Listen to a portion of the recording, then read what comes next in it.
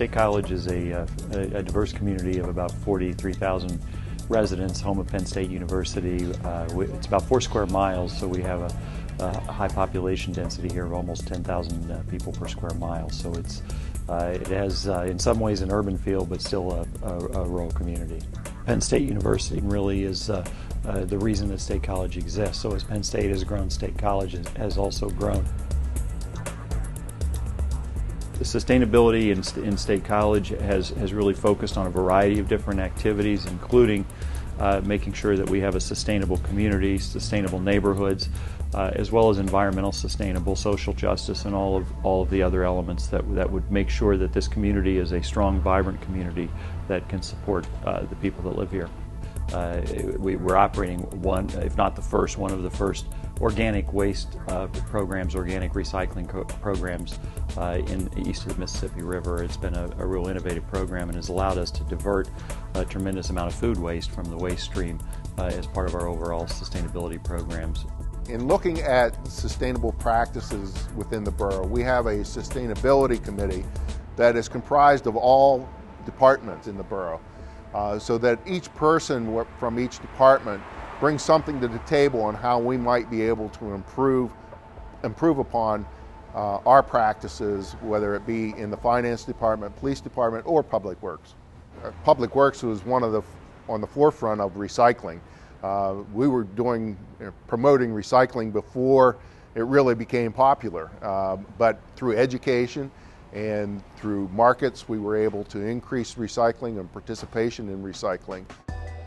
And encouraging a healthy, active lifestyle, uh, the borough maintains a sidewalk network encouraging people to walk to work and also providing bicycle amenities such as bike lanes and bike parking in the downtown. Well, I think one of the one of the real key things that we've focused on here in State College is is creating strong neighborhoods and, and building community within those neighborhoods.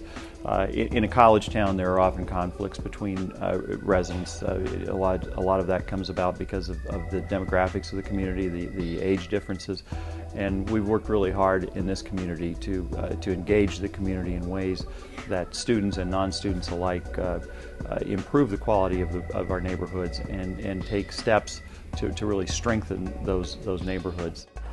We've established relationships with the off-campus student union by having them volunteer on a daily basis. Uh, we do presentations for them every Tuesday at their meetings. We serve as kind of a mentor, a speaker, guest speaker, and we also participate in their roundtable discussions and their neighborhood forums. One of the things that uh, I started to work on is a project to bring permanent residents together with the fraternities in our neighborhood. And so we started a neighbor to neighbor program in the Highlands.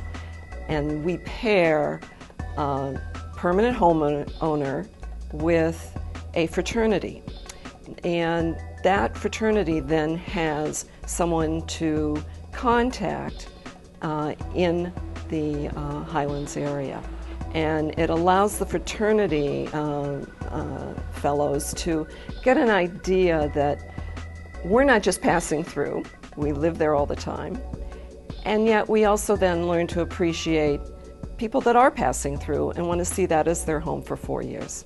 Our Dean of Undergraduate Studies at SMEAL, which is our business school of the Penn State University, came to us and presented the idea that we should go out in the community and clean up after home football games because there is a dire need of just like helping picking up trash. We're trying to really expand upon sustainability in our local community and we're trying to give back because it's just how we benefit. We're engaged in a number of different partnerships. Uh, we have partnerships with, with the other municipalities uh, that, that are in this region. Uh, the, uh, the Centre Region, the Schlow Centre Region Library is an example of, of, of an outstanding partnership where all of the municipalities in the region have come together.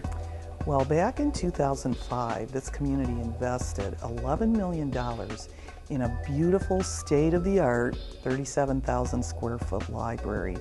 And it's been dubbed Downtown's Living Room because this is a major destination place in downtown State College. Considering the number of people that live in this municipality, our statistics are very high. We have over 400,000 people a year come into the building, so when you benchmark us compared to other similar sized communities, our library does very well. Well, I think this is a this is a community that really uh, values and respects uh, the individuals within the community. It's a community that values innovation. It's a community that uh, not standing still. We're, we're, continuing to work together every day to move forward uh, and make this a better community uh, and, and, be engaged with one another to uh, ensure that we have a high quality of life here in State College.